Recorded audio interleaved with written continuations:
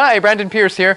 This week, my wife's cousin Lizzie is visiting us here in Bali, and I thought it would be fun as we're showing her around the town of Ubud where we live to also give you a little glimpse into what this town is like and why we've chosen to call it home for part of the year. Ubud has so much to offer. Uh, culturally, it's packed with temples. As you can see, I'm standing here in front of the local neighborhood temple, local village temple, where there are constant ceremonies. Um, and all over Bali, just as I was driving today, I saw several uh, you know, people dressed in ceremonial garb or wearing fruit baskets on their heads, or there's always something going on for the Balinese Hinduism here. Uh, there are tons of nature activities, amazing restaurants, um, incredible shopping as well, lots of unique boutique shops. So this will just be a quick snapshot of a few of the things that we're doing around Ubud this week to give you a taste for it. Okay, so this is the Campuhan Ridge Walk. It's just like a four or five minute drive from our house and some lovely views, a great place to walk early in the morning because otherwise it gets really hot. Uh, but we're having our driver drop us off at one end and then pick us up at the other where there's a lovely cafe and we'll have some, some breakfast. There's a spa there too if you get a chance to do a massage. But this is one of, uh, one of the fun nature activities to do in Ubud. All right, this is the Sacred Monkey Forest in Ubud, and as you can see, there are lots of monkeys. Perfect. and uh, beautiful trees.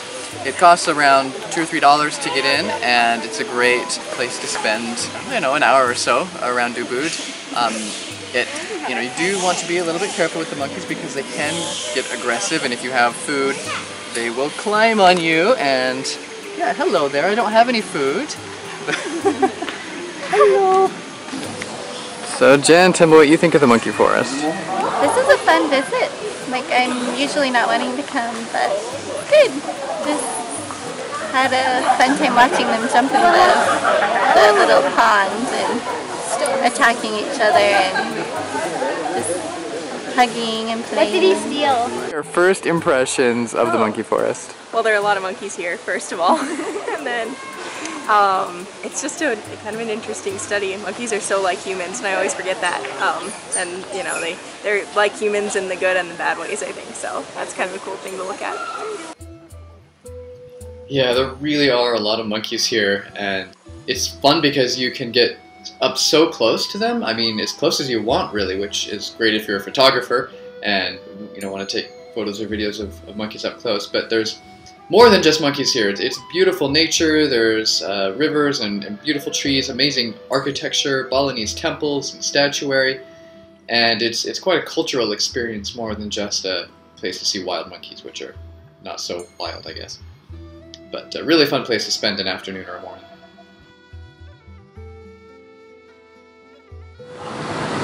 So this is a giant cow that the Balinese have built. It's part of a cremation ceremony that they're going to be doing this Sunday. Uh, they'll parade this, they'll lift it up with, with bamboo, uh, bamboo flooring and carry it uh, along with a lot of other things that they're building. Maybe you can see some of the things behind me.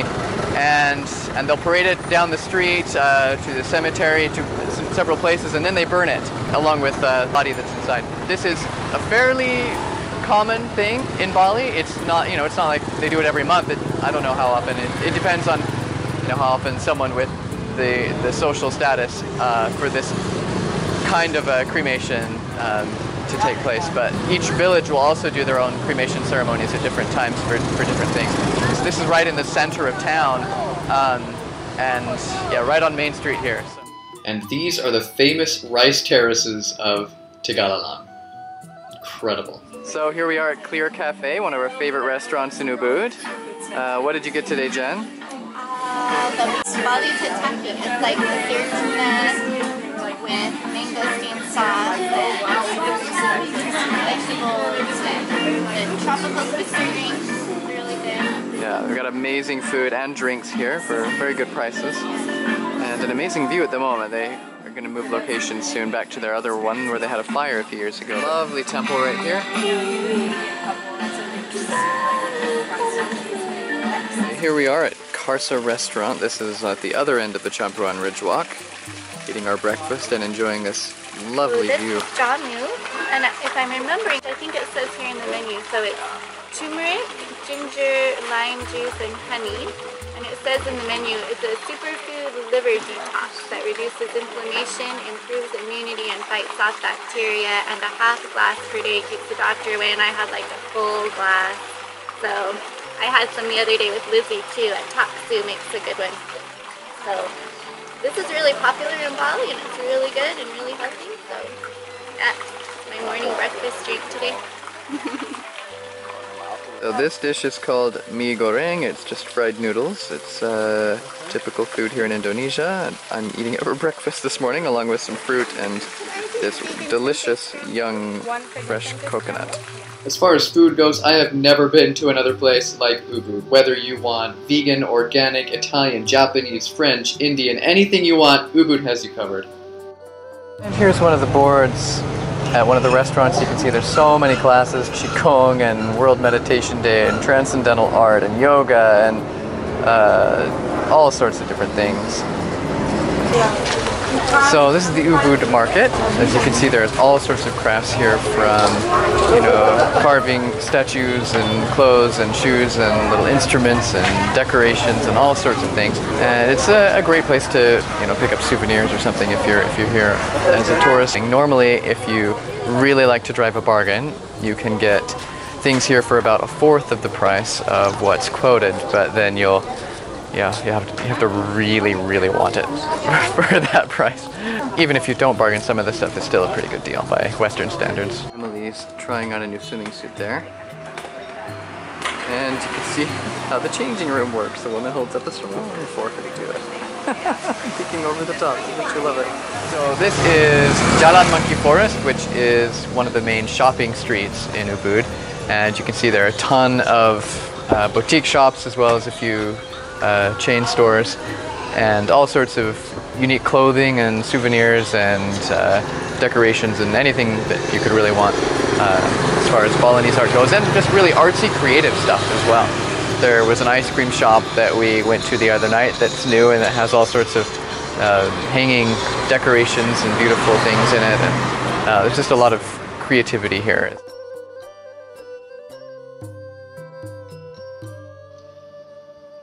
One of the best ways to get around Ubud is by motorbike. Uh, if you drive a car, you're a bit limited on the one-way streets and with the traffic, but motorbikes can weave in and out of cars and go multi-directional on some streets, and it, it's a good way to get around. This clip just gives you a, a, sense of what it's like to ride a motorbike around Ubud. Uh, this is on uh, the main street, and here's here's one of my favorite uh, parts of Ubud. This beautiful a tree tunnel here, and I just love these vines that hang down from from these trees and and the beautiful stonework on the sides.